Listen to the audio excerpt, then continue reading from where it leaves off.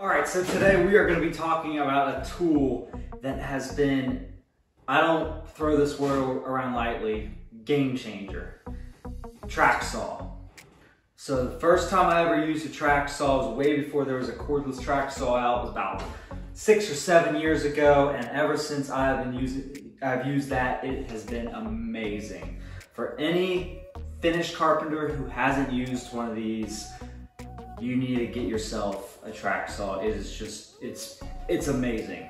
There's no other, no other thing like it. It will change the way you do a lot of stuff and you will be able to get you more accurate, better quality cuts. So this thing, I'm gonna show you why this thing is absolutely awesome, especially this one. This is the Festool TSC 55. Um, TS stands for track saw, C cordless, 55, that's 55 millimeters of cut depth is how much it has. But this thing is just the bee's knees of finished carpentry saws. In my opinion, it will do a ton of stuff. I've used it on tons of projects. I'm currently making some cabinets for myself in my own house right there. So I got all the boxes and everything cut for all my cabinets. And I tell you what, without this saw, it wouldn't have been possible to make as nice of a job as I did there.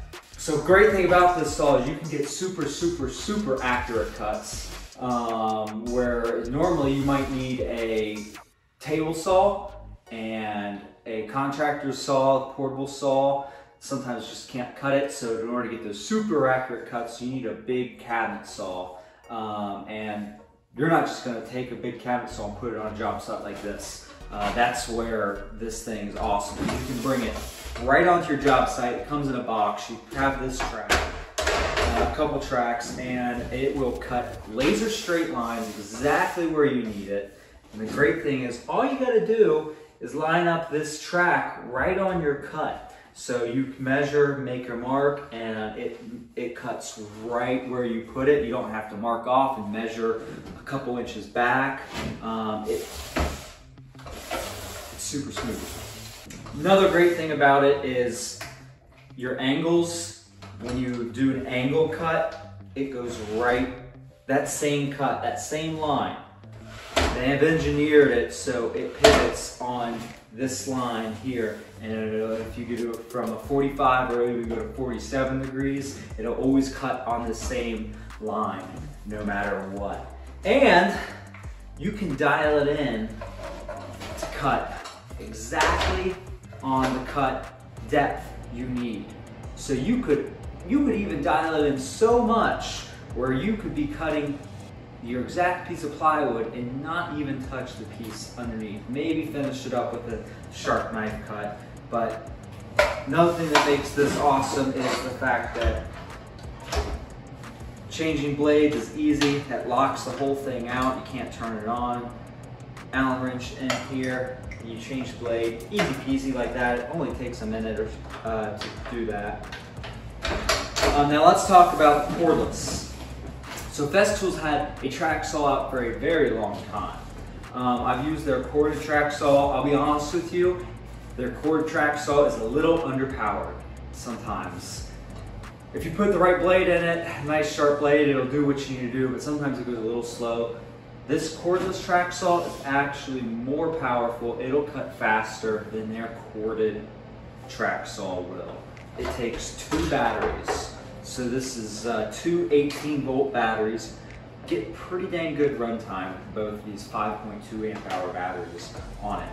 Another great thing too is if you're in a pinch and you only have one battery, it still works with one battery. It goes at half the speed as one as with two batteries, but if you really need to cut something, you go a little bit slower and you're in a pinch you only have one battery, it'll do it. Now, another thing you just heard. So that you heard that vacuum come on, this is cordless. If you get one of their Bluetooth batteries, it doesn't matter which one it's in, if it's in this one or that one, and you pair it with your Bluetooth vac Festool vacuum, it will automatically come on. So no need to uh, remember to turn on your vacuum.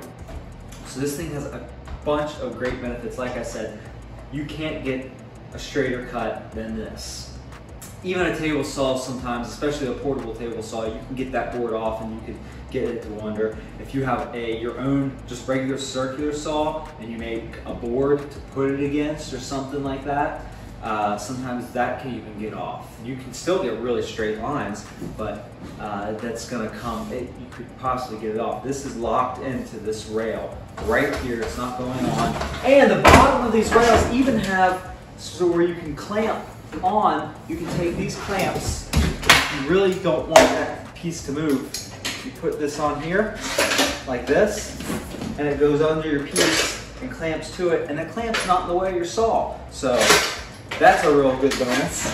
But I hardly ever use the clamps because if I have a piece of plywood, this is pre-finished plywood, this is pretty slick. It's got this foam pad that's on this right here. It doesn't move. If it's on a flat surface like this, pretty much most materials, it's not gonna move to a certain extent. I mean, yeah, if you really try, but if you put downward pressure on this, it's and uh, are mindful of your cut, you hardly ever need another good thing is, so you can take a couple of these smaller tracks and put them together. This is like a 55 inch track. So this will cross cut four by eight sheets all day long. You get another track and you can actually get these that join them together. One here one here, you need two of them joined together. You gotta make sure it's straight though. You put a straight edge on it. And make sure it's straight when you do it together because they have a little bit of wobble. You don't want that. Or buy a nine foot plus long track. You can get these tracks up to like, I think 14 or 16 feet long. They're a little pricey for this long, but I tell you what, if you're doing a lot of ripping, it's nice to have one long track and then the track that comes with it so you can do cross cuts and then rip cuts on 4 by 8 sheets of plywood. Now, this thing, like I said, battery life is really good. Building my cabinets, I mean, I'm doing kind of precision work. I got two batteries charging, so I got four batteries altogether. Doing this kind of work, I've never depleted the batteries faster than they'll charge. And those are the slow chargers. Comes with the slow chargers. I think now, because I've had this for like four or five years uh, since it came out, and I think now if you buy it, it comes with the fast chargers, um, which will really get you up and running really quick. Great thing about this track saw compared to some of the other track saws I've used, like the Makita, is depth adjustment is super easy. Just push this in, go up and down, and it shows you where it is. The top mark is for on the track, the bottom mark is for when it's off the track. Because you can use it off the track like this too, as a regular circular saw, and it's really nice. It's really close clearance, like it has a half inch away from here, so you could go around and rip subfloor out of a, a house and only be like a half inch away from the wall. So dust collection on this is really, really, really, really, really good. You can cut all day long in finished houses, and as long as you have your uh, vacuum hooked up to it, it's you're, you're golden. You don't have to worry about making a big, huge mess. You might get a little bit of dust if like you're cutting just a uh, eighth of an inch or 16th inch off something because it doesn't have something on the other side to trap it. But uh, it does really, really, really good with dust collection. And when you buy this cordless one, so it comes with this, so you can use on a with dust extractor or and when you use with dust extractor it gets like 90% of the dust. But if you don't have a dust extractor it comes with this bag here that clips on like this and it probably gets about like 85% of the dust. This thing fills up quick and then you can zip this out and empty it and it does a pretty good job collecting all the dust with no vacuum hooked up to it uh, so one of the things I really like about this Festool and in my opinion, this is the best cordless track saw on the market. Um, a lot of people might tell you they like the Makita better. The only reason I, I could say the Makita would be better or more desirable, it does have more power. The Makita does will be able to cut things faster. Although there's nothing I have found that this won't cut. I even put in the right blade in this. I was cutting Hardie board, uh, which it did a really clean, good job. If you're put the right blade, I got a Panther blade. It's like 12 tooth blade. You can cut some thick stuff ripping it. No problem. If you try to rip that with the, the 40 tooth blade, it might want to try to bog down a little bit, but it only takes a minute or two to change the blade, and then it's got plenty power to do that. So this does have enough power that I found to do a lot, pretty much anything I've, I've needed. Um, and I like it better than the Makita, despite having a little bit less power because uh, one, you can run it on one battery. The Bluetooth connectivity to the vacuum is super, super nice. Just the whole packaging of this tool. So it comes in Assist 5 with this foam insert and everything, everywhere has its place. You can put both, with two chargers, you can put two extra batteries in here, dust collection. I've got three extra blades in here right now, and that all fits very nicely in this. So just it just works really, really well. And I this just feels a little bit smoother and than the Makita. Like I said, I've had this for a while. This is is one of, was one of my first Festool purchases. Um, kind of got me drinking the green Kool-Aid. And also another reason I like this better is because this right here, so this has a knob, and this goes down and you can put this down so your offcut won't splinter out, but then it also helps really, really, really good with dust collection. So without this, you'll have dust come out here, but this, because this goes all the way down and has the upcut of the blade on the offcut, it captures that and it really, really does a good job with dust collection. So, and just the fine fit and finesse of this saw, I just, it's a little bit more expensive saw and for a reason I think it's better quality than the uh, Makita. Um, some of the other ones, I don't even, I know DeWalt, it's kind of a weird mechanism. You have to go up and down, um, and then the dust collection stuff. The DeWalt's, but it's DeWalt's got probably the most power, uh, being a big old 60 volt FlexVolt one. And I've never tried the Mafell, although it's single battery, and from what I've heard, it might be a little bit underpowered. We'll see about Milwaukee coming out with one. They're supposed to be coming out with one, I'm guessing. Probably in the next couple years, we'll see it. Maybe even this year, they might release it. Who knows? But I have no idea. No, really. But yeah, just awesome, awesome saw game changer for me anyway.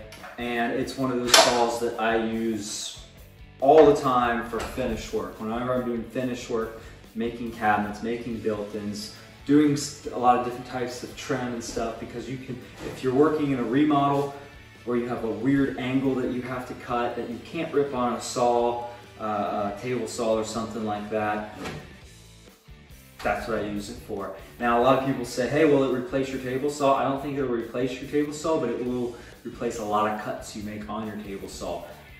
Mainly now, my table saw, I only use it for rips of smaller stock stuff because this track really needs about seven inches of material to sit on to be able to uh, properly work where it's not going to move on it and be able to rip on it. I think you still need your table saw on top of this, but only for small stuff. Uh, and I don't really need, you don't really need a big table saw and it lessens uh, use on that. But yeah, this thing, it's really good.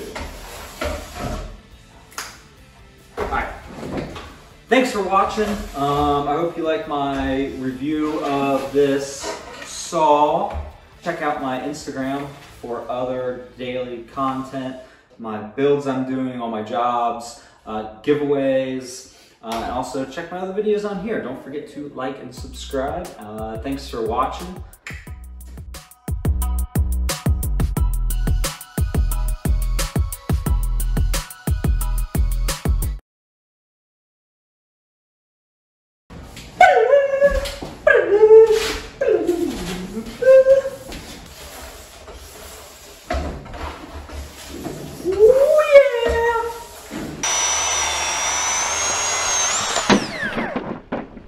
Bam.